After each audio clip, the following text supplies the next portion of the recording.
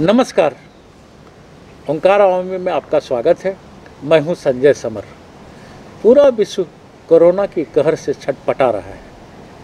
ऐसे में भारत के प्रधानमंत्री नरेंद्र भाई मोदी ने तीन मई तक लॉकडाउन को बढ़ा दिया है। स्थितियाँ सामान्य सी होती नहीं दिखाई दे रही हैं। गरीबों के लिए यह कहर कब तक चलेगा यह कहना मुश्किल है। लेकिन प्रदेश में क्या स्थिति है इसे निपटारे के लिए क्या क्या जुगाड़ सरकार ने कर रखा है इस पर हम बात करेंगे। भारतीय जनता पार्टी के प्रदेश उपाध्यक्ष प्रदीप वर्मा जी से। प्रदीप वर्मा जी ओंकार आवामी में आपका बहुत बहुत स्वागत है। प्रदीप जी से हम कोरोना के बारे में जानेंगे राजनीति के बारे में जानेंगे और कोरोना से निपटने के लिए भारतीय जनता पार्टी ने देश भर के लिए क्या क्या प्रोग्राम बनाया है, इन विषयों पर हम बात करेंगे। तो प्रदीप जी, सबसे पहली चर्चा में हम ये, हमें आप ये बताइए कि कोरोना चीन के बुआम से चला। लगभग ग्यारह हज़ार किलोमीटर दूर अमेरिका, बारह हज़ार किलोमीटर दूर इटली, भारत, ये सब जगह पहुँच गया, लेकिन पाकिस्तान अभी तक प्रभावित नहीं हो पा रहा है। वहाँ सब कुछ सामान्य सी स्थितियाँ है, सूचना है ऐसा। क्या कहेंगे? देखिए कोरोना वायरस चीन से चल करके उन देशों में सबसे पहले पहुँचा या बहुत आसानी से पहुँचा, जहाँ पे अंतर्राष्ट्रीय यात्राएँ खूब होती हैं। भारत उन देशों में से है जहाँ बहुत बड़ी संख्या में भारत के लोग बाहर जाते हैं और बाहर से लोग भारत आते हैं। तो इस कारण से भारत में और अन्य यूरोपियन कंट्री में ये बहुत जल्दी पहुँच गया। पाकिस्तान में थोड़ा अंतर्राष्ट्रीय आना जाना कम है, लेकिन उनके यहाँ भी बड़ी संख्या में ये हुआ है। हाँ जितना उनका पॉपुलेशन है, उस तुलना में थोड़ा कम ज़रूर है। इसका कारण यही है कि उनके यहाँ बहुत ज़्यादा इंटरनेशनल ट्रेवल करने वाले लोग नहीं हैं। बाहर से बहुत लोग आते नहीं हैं, उनके यहाँ से बहुत ज़्यादा जाते नहीं हैं। एक तरह से लॉक्ड इकोनॉमी है। ओपन इकोनॉमी न होने के कारण थोड़ा वो बचे हुए से लगते हैं। अब झारखंड में कोरोना पूरी तरह से पाँव पसार चुका है। ऐसा लगता है। ऐसे तो अभी जाँच की व्यवस्था नहीं है जिससे कुछ खुल करके सब कुछ सामने नहीं आ रहा है। लेकिन कोरोना को लेकर के राजनीति भी स्टार्ट हो गई है। कुछ खास लोग के कारण कोरोना फैला है, ऐसा बताया जा रहा है। देखिए, ये राजनीति का विषय नहीं है। इसमें कुछ बातें तो जो सबके सामने अब आ चुकी हैं कि कुछ लापरवाह, लापरवाहियाँ हुई। तबलीगी मरकज नाम का एक संगठन देश में काफ़ी दिनों से 1926 से काम कर रहा है।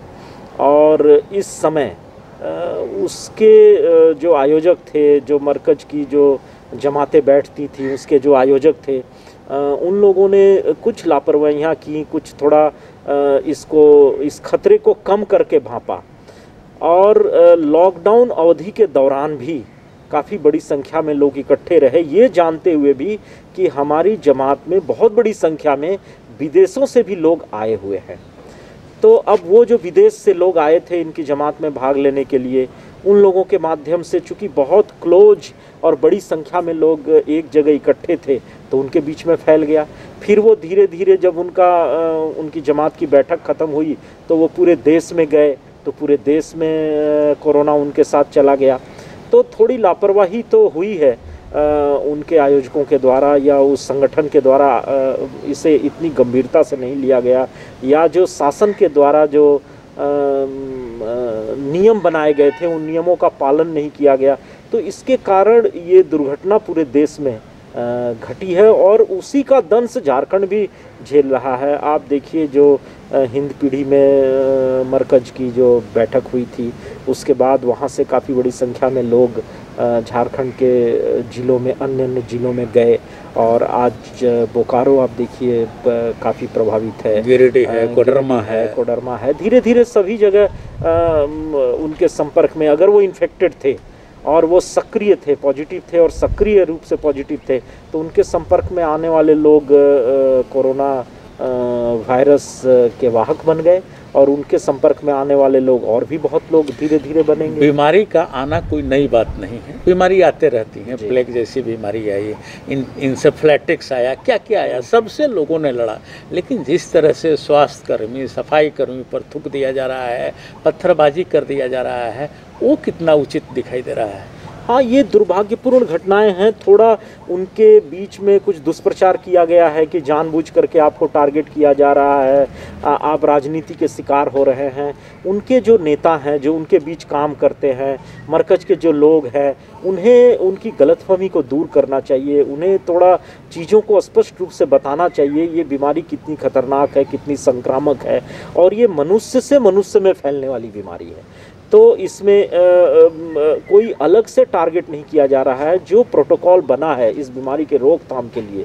उस प्रोटोकॉल के तहत ही अ, सरकारी कर्मचारी आपको लॉकडाउन करने का प्रयास कर रहे हैं या आपको क्वारंटाइन में रखने का प्रयास कर रहे हैं ये अलग से कोई बदले की भावना से या आपको टारगेट करके नहीं किया जा रहा है। इस विषय को हमको लगता है कि इन्हें ठीक से समझाने की ज़रूरत है तो इनका फ्रस्ट्रेशन कम होगा, गुस्सा कम होगा और ये बड़ा दुर्भाग्यपूर्ण है कि जो कोरोना वॉरियर्स हैं, जो कोरोना की रोकथाम और कंट्रोल के लिए अपनी जान पे खेल करके समाज में जाके काम कर रहे हैं, चाहे वो चिकित्सक हों, चाहे नर्स हों, चाहे पारामेडिक्स हों या पुलिसकर्मी हों तो उनका सम्मान होना चाहिए। वो हमारे लिए रोड पे हैं, हमारे लिए अपने जान को जोखिम में डाल के वो काम कर रहे हैं। अब देखिएगा, देश के बड़े हिस्से में उनका सम्मान किया जा रहा है। जब वो गलियों से गुजर रहे हैं तो लोग ऊपर से फूल बरसा रहे हैं उनके ऊपर। तो ये थूकने की जो घटना हुई है, बहुत दुर्भाग्यपूर्ण है। और हम समझते हैं कि इनकी जिम्मेवारी, इनके समाज के लोगों की जिम्मेवारी बढ़ती है कि मुस्लिम समाज के बड़े नेता बड़े पढ़े लिखे लोग डॉक्टर चार्टर्ड अकाउंटेंट ये आगे आएँ और अपने समाज में एक कम्युनिकेशन स्थापित करके इस गलतफहमी को दूर करें और ये समझाएँ कि ये जो सुरक्षाकर्मी या पुलिसकर्मी आपके बीच में आके काम कर रहे हैं, ये आपके हित के लिए है। कोरोना कोरोना को कंट्रोल करने के लिए आपके बीच में आए हैं। इनका आप सहयोग करें। अब कोरोना पीड़ित जो नहीं रह रहे हैं मतलब एक्सपायर कर जा रहे हैं उनको दफनाने के लिए ले, को लेकर के भी पूरे देश में एक झमेला खड़ा हो अब जा इसे रहा है। वही है ना कि गलत फहमियाँ हैं। कोरोना के मरे हुए व्यक्ति से ये बीमारी नहीं फैलती है। जब तक कि आप उसको छुएँगे नहीं उसको नहलाएँगे उसके लिए गाइडलाइन है कि जो व्यक्ति कोरोना पीड़ित होकर के और उसकी मृत्यु हुई है तो उससे कैसे हैंडल करना उसके शव को उसके डेड बॉडी को कैसे हैंडल करना है। ज़्यादा लोग सौ यात्रा में शामिल न हो उन्हें नहलाया ना जाए उन्हें छुआ ना जाए। इस प्रकार की गाइडलाइन है चिकित्सक एक वर्ग मानता है कि दफना देने के बाद भी कोरोना का कीड़ा ज़िंदा रहता है। इसको सीधे सीधे जलाने की बात वो कहते हैं या फिर शहर से दूर काफ़ी दूर। देखिए आपने देखा होगा कि यूरोप में और चीन में जहाँ हमेशा से मृत शरीर को दफनाने की परंपरा रही है उन देशों ने भी कोरोना पीड़ित व्यक्ति जिसकी मृत्यु हो गई है, उसे जलाया है। जलाने के बाद तो ये सबसे सेफ़ है, इसमें कोई दो राय नहीं है। पूरे विश्व के वैज्ञानिक मानते हैं कि कोरोना पीड़ित व्यक्ति की जब मृत्यु हो जाती है तो उसको जला देना ही सबसे ज़्यादा सेफ़ है। और ये अगर हो तो इसमें कोई हर्ज नहीं है। इससे क्या होगा कि उस बीमारी के, उस व्यक्ति के शरीर से कहीं और फैलने का खतरा बहुत कम हो जाएगा। हम प्रदीप जी से अब राजनीतिक बात करेंगे कि राज्य सरकार जो खर्च कर रही है, उससे क्या आप कितने संतुष्ट हैं? जो मद में क्या क्या काम हुआ है? भारतीय जनता पार्टी भी गरीबों के लिए या समाज के लिए, इस कोरोना से निपटने के लिए क्या क्या कर रही है? तो सबसे पहले मैं प्रदीप जी बताऊँगा कि, या पूछना चाहूँगा आपसे कि सरकार नई बनी यहाँ, झारखंड में। अब बनते के साथ उन्होंने कहा, खजाना खाली है। देखिए ये जो सरकार बनी थी ये ये कह के बनी थी कि ये आदिवासियों और गरीबों की सरकार है और जब वो सरकार में आए तो ये देश की पहली घटना है कि कोई सरकार शपथ लेने के साथ साथ ये कहना शुरू करे कि हमारा खजाना खाली है। पूर्व की सरकार ने खजाना खाली कर दिया है। ऐसा नहीं होता है। जो भी सरकारें चलती हैं, उनका अपना प्रोटोकॉल होता है, अपना तौर तरीका होता है। पैसा खर्च करने का, उनका सब बजट होता है, मद होता है, उसके हिसाब से चीज़ें होती हैं। और ये देश ने पहली बार देखा कि किसी सरकार ने शपथ लेते ही ये कहना शुरू कर किया कि हमारा खजाना खाली है। तो इससे कहीं ना कहीं सरकार की नीयत पर प्रश्न चिन्ह खड़ा होता है। और कोई पैसा खजाने में रखा हुआ नहीं होता, कोई किसी के लिए छोड़ के नहीं जाता है। राज्य सरकारों के अपने आय के स्रोत होते हैं। वो नियमित रूप से वो स्रोत से पैसा आता रहता है और खर्च होता रहता है। ये कोई रखा हुआ खजाना नहीं है और बाद में आपने देखा होगा, कई समाचार पत्रों ने खबर छापी कि ट्रेजरी में 2500 करोड़ रुपया है और है तो खजाना पहरुए होते हैं हाँ। जिसको आईएस देखता है और कई विंग होते हैं जो कि सरकारी पैसों पर नज़र रहती है। पैसा निकलता है। आरबीआई से आता है ट्रेजरी में आता है बैंकों के माध्यम से भुगतान होता है तो ये सब तो तो। खजाने कभी खाली नहीं हुआ करते हैं? और कई बार हमारी ज़रूरत के हिसाब से खजाने कम बेसी ज़रूर होते हैं। उस समय आप देखे होंगे कि राज्य सरकारें केंद्र से मांगती हैं, पैकेज मांगती हैं, स्पेशल पैकेज मांगती हैं, वो चीज़ें अलग हैं। लेकिन एकदम से शपथ लेते ही ये कह देना कि राज्य का खजाना खाली है, ये हमको लगता है कि देश के इतिहास में ये पहली घटना है, जब किसी सरकार ने ये कहा। और उसके बाद संजोग से या कहिए दुर्भाग्य से एक वैश्विक महामारी ने भारत में भी प्रवेश किया, अपने राज्य में भी प्रवेश किया और एक बड़ी लड़ाई लड़ रहे हैं। और इस समय भारतीय जनता पार्टी किसी भी प्रकार के राजनीति करने में विश्वास नहीं करती। हाँ एक मज़बूत और सक्रिय विपक्ष के नाते जहाँ भारतीय जनता पार्टी को लगता है कि सरकार से कुछ कमी हो रही है, जहाँ सरकार कमज़ोर पड़ रही है, जहाँ सरकार ध्यान नहीं दे रही है, उन चीज़ों को सरकार के ध्यान में लाना ये भारतीय जनता पार्टी का कर्तव्य है। और भारतीय जनता पार्टी का नेतृत्व तो लगातार ये कर रहा है। तो इसे राजनीति कहना ये ठीक नहीं है, ये हमारा कर्तव्य है और उस कर्तव्य का हम निर्वहन कर रहे हैं। जैसे उदाहरण के लिए आप देखिए राज्य में क्वारंटाइन बेडों की संख्या, आप देखिए कितनी कम है। आपके सवा तीन करोड़ की पॉपुलेशन वाला राज्य है। यहाँ अगर आप point zero two percent bed भी जो मिनिमम रिक्वायरमेंट को भी अगर आप पूरा करते हैं तो छः साढ़े छः हज़ार क्वारंटाइन बेड चाहिए। आपने अभी तक उतना नहीं किया। टेस्ट की फैसिलिटीज़ राज्य के हर कोने में भी शुरू नहीं हुई। अभी कुछ दिन पहले धनबाद में शुरू हुई है। टोटल पूरा। संथाल परगना संथाल खाली खाली पड़ा हुआ है। तो इसे जिस जिस स्पीड से जिस त्वरित गति से करना चाहिए था वो नहीं हुआ। और समाज में बहुत सारा वर्ग है जो सेवा करने को तैयार है पैरामेडिक्स हैं और हैं, उन्हें चिन्हित करके उनकी सेवा लेनी चाहिए थी, उन्हें सरकार को उनसे बात करनी चाहिए थी। बहुत सारे प्राइवेट लैब हैं जो बंद पड़े हुए हैं, उसके टेक्नीसियन घर बैठे हुए हैं, उन टेक्नीसियन से बात करके, उन्हें ले करके जाँच करने की फैसिलिटी बढ़ानी चाहिए थी। ऐसी कई चीज़ें हैं जो सरकार को जिस गति से करनी चाहिए थी, उस गति से वो नहीं कर पाई। तो इसमें भारतीय जनता पार्टी के नेतृत्व ने प्रश्न खड़ा किया और वो हमारा कर्तव्य है। तो इससे राजनीति करना उदाहरण के लिए आप देखिए हिंद पीढ़ी में जो पुलिस बल की तैनाती हुई। इसमें ऐसा देखा गया कि एक वर्ग विशेष के ही लोगों को तैनात किया गया। तो इस प्रकार से अगर प्रशासन धर्म के आधार पे और चीज़ों के आधार पे अगर बांट करके प्रशासकीय कार्य करने लगेगा तो आने वाले दिनों में स्थिति कंट्रोल के बाहर हो जाएगी। हम एक गलत उदाहरण प्रस्तुत करेंगे तो इन चीज़ों पे भारतीय जनता पार्टी ने अपना कड़ा ऑब्जेक्शन किया है। आप देखिए 25 तारीख से जब ये लॉकडाउन शुरू हुआ तो गरीबों को या अन्य लोगों को जिस रफ्तार से अनाज सामग्री वगैरह पहुंचाना चाहिए था, वो नहीं पहुँच पाया। तो समाज खड़ा हुआ, भारतीय जनता पार्टी के कार्यकर्ता राष्ट्रीय स्वयंसेवक संघ के कार्यकर्ता और समाज के अन्य कई संगठनों के कार्यकर्ता। वो अलग से खड़े हुए और उन्होंने पूरे राज्य को संभाला। भूखों को अन्न दिया अनाज पहुँचाया बड़ी संख्या में। आप देखिए भारतीय जनता पार्टी ने अपने राज्य में जो फ़ीड द नीडी एक कार्यक्रम चलाया जिसमें अ, मोदी आहार के नाम से हम लोगों ने कम्युनिटी किचन और कच्चे राशन का किट बना करके लोगों के घरों तक पहुँचाया। हम लोगों ने सात लाख से ज़्यादा लोगों को अब तक भोजन कराया है। सवा लाख लोगों के घर पे हम लोगों ने खाने का राशन का पैकेट पहुँचाया। ऐसी कई संगठनों ने किया है, बड़ी संख्या में किया है। कहने का तात्पर्य कि सरकार को जिस रफ्तार से, जिस तेज़ी से जो अनाज उपलब्ध कराना चाहिए था लोगों को वो नहीं करा पाई। एक विशेष पैकेज की बात कही आपने अभी। ये हेमंत सरकार भी केंद्र से चाहती है विशेष पैकेज। उसमें भारतीय जनता पार्टी की क्या भूमिका होगी? क्या उनके समर्थन में पत्र लिखेंगे केंद्र सरकार को आप लोग?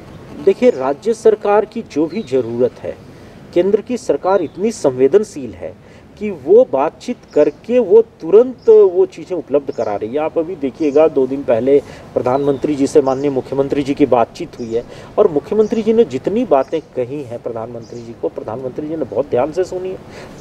कई राउंड के अभी 250 करोड़ रुपया राज्य सरकार को केंद्र ने इशू भी किया है।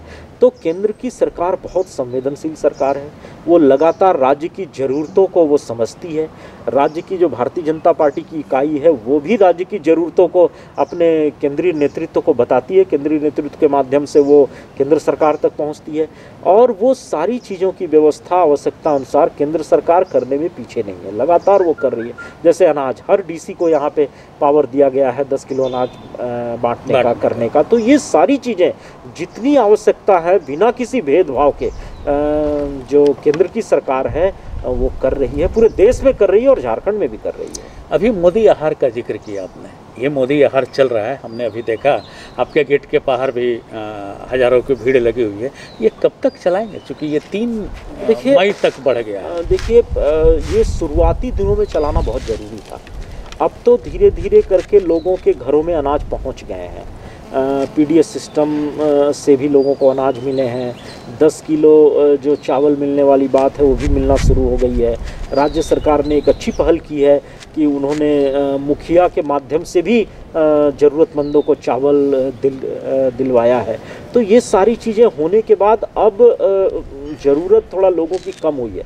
लेकिन भारतीय जनता पार्टी के कार्यकर्ताओं ने एक प्रण ले रखा है कि हम ये पूरे लॉकडाउन की अवधि में किसी को भी भूखा सोने नहीं देंगे। एक भी व्यक्ति भूखा नहीं सोएगा जिस किसी की भी हमें जानकारी होगी हमारा कार्यकर्ता पूरे राज्य में चाहे वो कहीं भी हो कितने भी दूर दराज के क्षेत्र में हो उसे अनाज पहुंचाएगा भूखा सोने नहीं देगा। आपने देखा होगा अभी हाल के दिनों में आ, समाचार पत्रों ने बड़े आ, बड़ा कवरेज भी दिया था इसका। आ, अपने पूर्वी सिंहभूम ज़िले में बहुत दूर दराज के सवर गाँव तक भी भारतीय जनता पार्टी के कार्यकर्ता पहुँच करके और सवर घरों में उन्होंने अनाज पहुँचाया, जिनके घरों में अनाज का एक दाना नहीं था। तो पूरे प्रदेश में भारतीय जनता पार्टी के कार्यकर्ता हों, भारतीय जनता पार्टी के जनप्रतिनिधि हों, सांसद विधायक हों, सभी लोग एकदम दिन रात इस संकल्प के साथ काम कर रहे हैं कि हमारे रहते इस राज्य में किसी भी व्यक्ति को हम भूखा सोने नहीं देंगे। अच्छा प्रदीप जी, अब चलते चलते ये मेरा अंतिम प्रश्न ये इस लॉकडाउन के लिए जनता को क्या संदेश देना चाहेंगे आप? क्योंकि बड़े पैमाने पर लोग सड़क पर निकल आ रहे हैं, कुछ झूठ बोल करके, कुछ मस्ती के लिए, और कुछ यूँ ही। तो एक बात अभी चल रही है कि जान है तो जहान है। तो एक स्लोगन के हिसाब से बताइए या क्या कहना चाहेंगे? देखिए, आदरणीय प्रधानमंत्री जी ने जो स्लोगन दिया है, स्टे होम, स्टे सेफ़ मेरा भी संदेश यही है। प्रधानमंत्री जी अपने बार बार के संबोधन में लगातार एक बात पे बल दे रहे हैं कि हम सोशल डिस्टेंसिंग का पालन करें। अभी आपने देखा होगा जो पिछले दिनों आ, रात में जो पाँच तारीख को रात में नौ बजे जो नौ मिनट के लिए दिया जलाना था उन्होंने बहुत स्पष्ट संदेश दिया था कि परिवार के लोग भी एक साथ सट के खड़े ना हो सोशल डिस्टेंसिंग का पालन करें एक जगह इकट्ठा ना हो। देखिए ये जो कोरोना एक संक्रामक बीमारी है और मनुष्य से मनुष्य में फैलती है कोई भी संक्रमित व्यक्ति अगर हमसे हाथ मिलाता है, हमारे संपर्क में आता है, या हम पाँच मीटर से कम की दूरी पे उससे हैं और वो खांसता है और मास्क नहीं पहना है तो जो एयर ड्रॉप्स जाएँगे, उसके माध्यम से वो बीमारी हम तक पहुँच सकती है। तो इस बीमारी के रोकथाम का, इस चैन को तोड़ने का, जो ये संक्रमण का चैन है, इस चैन को तोड़ने का एक ही तरीका है कि हम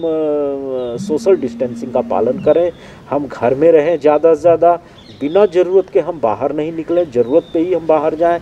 और जितना इस सोशल डिस्टेंसिंग का हम पालन करेंगे तो इस चैन को हम तोड़ पाएँगे। और एक बार ये चैन टूट जाएगा संक्रमण का तो फिर हम इस पर ज़रूर आने वाले दिनों में काबू पाएँगे। ठीक ही कहा प्रदीप वर्मा जी ने। कि कोरोना से लड़ने के लिए हमें जो जहाँ है वहाँ रहना पड़ेगा। तभी देश बचेगा, राज्य बचेगा, समाज बचेगा और अपना गाँव बचेगा। तो प्रधानमंत्री ने कहा है कि तीन मई तक लॉकडाउन रहने के लिए तो आप जहाँ हैं वहाँ स्थिर पड़े रहें। प्रदीप वर्मा जी, आपका बहुत बहुत धन्यवाद ओंकार में आने के लिए। मुझे दीजिए इजाज़त, फिर मिलेंगे किसी नए शख्स के साथ। नमस्कार।